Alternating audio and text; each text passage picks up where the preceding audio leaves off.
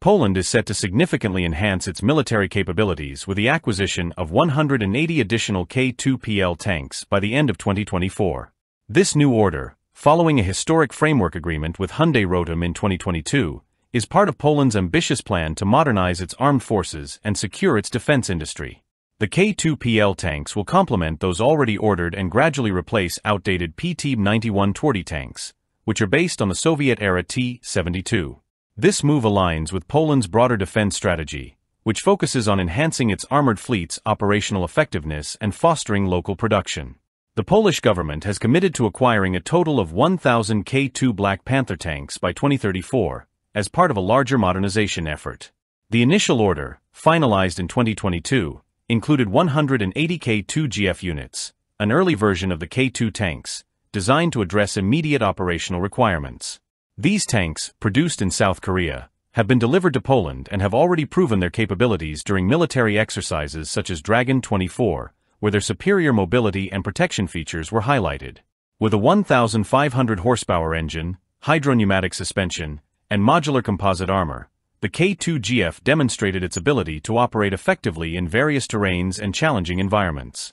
However, the most significant aspect of this acquisition is the development of the K2PL, a Polish adapted version of the K2 Black Panther. The K2PL will feature reinforced armor for enhanced protection against modern threats, advanced active protection systems to defend against anti-tank missiles, and NATO standardized ammunition compatibility. One of the most crucial upgrades is the integration of a locally developed battlefield management system, BMS, ensuring seamless operation with Poland's existing armored brigades. Poland's modernization strategy is not just about acquiring advanced weaponry, it also involves the creation of a robust domestic production capability. In 2023, Hyundai Rotem and the Polish defense group PGZ, Polska Grupa Zbrojeniowa, established an agreement to build local production lines in Poland. The first K2PL tanks are expected to roll off the production line by 2026, with a total of 820 units planned. This move is not only aimed at bolstering Poland's military capabilities, but also at securing industrial autonomy and providing local jobs within the defense sector. The production of the K2PL tanks in Poland is a significant step towards strengthening the country's defense industry. It is an integral part of Poland's strategy to enhance its self-sufficiency and ensure that its armed forces are equipped with cutting-edge technology that meets its specific needs. The expansion of Poland's tank fleet, with the addition of the K2PL, is just one component of the country's broader defense modernization plan. Poland has been steadily increasing its defense budget, now exceeding 3% of its GDP, to address the growing security challenges posed by Russia and the ongoing war in Ukraine. Alongside its tank modernization program, Poland is also investing in other key military assets, including Abrams M1A2 tanks, F-35 fighter jets, K-9 Thunder howitzers, and advanced air defense systems. The Polish military's personnel numbers have also grown, with approximately 150,000 active duty soldiers and a 30,000 member territorial defense force.